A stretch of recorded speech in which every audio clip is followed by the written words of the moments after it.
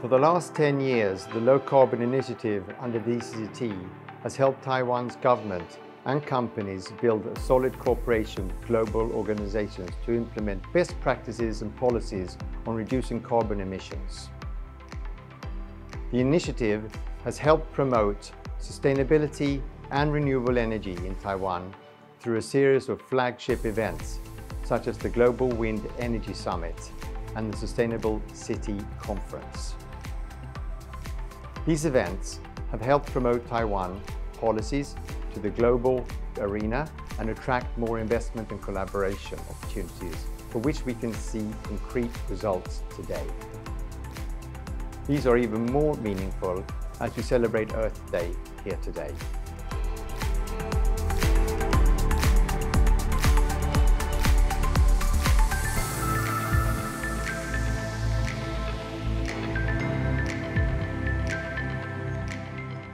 So the ECCT's Low Carbon Initiative was started 10 years ago in 2012.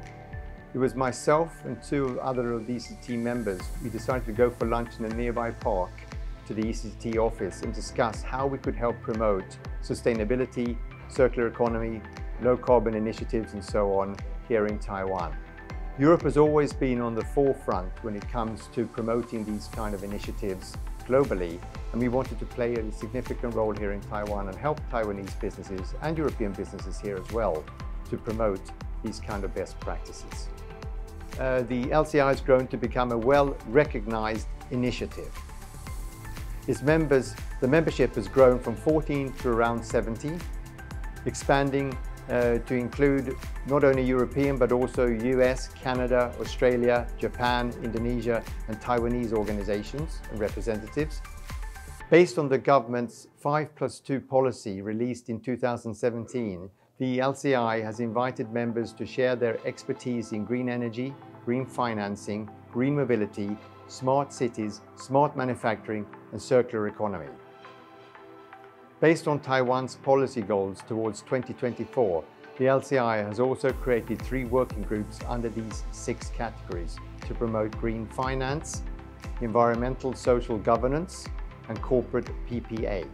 The LCI has also published five reports over the past eight years on topics ranging from saving energy consumption to shaping Taiwan's energy transition, uh, these concrete examples show how the LCI provides insightful and feasible solutions. Such input has helped the government to recognize the opportunities sustainability provides for Taiwan. So the LCI has just finished the 2021 International SDGs Forum and published Global City Solutions on Eco-Mobility and Eco-Logistics in March. For the upcoming months, the LCI is to work with the Taiwan central government and also with the municipal governments in over 20 activities on offshore wind energy, green financing, ESG, and corporate power purchase agreement, CPPA, hydrogen energy storage, circular economy, on PV panels and wind turbine blades recycling, building sustainable supply chains, and more. The LCI will especially push green hydrogen generated by renewable energy in the next few years, which will help Taiwan to align with global goals to achieve net zero carbon emissions. Um, we feel it's important uh, that Taiwanese companies are also part of the transition.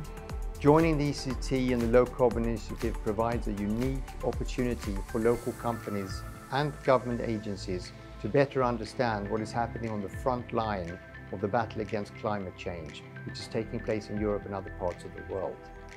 European technologies are at the forefront, they are, they are the most advanced and they are the, the most widely implemented. Taiwanese companies have a great opportunity to learn what is happening and thereby leapfrog into the front line and not only uh, be limited to what, what they currently know what is ongoing here in Taiwan.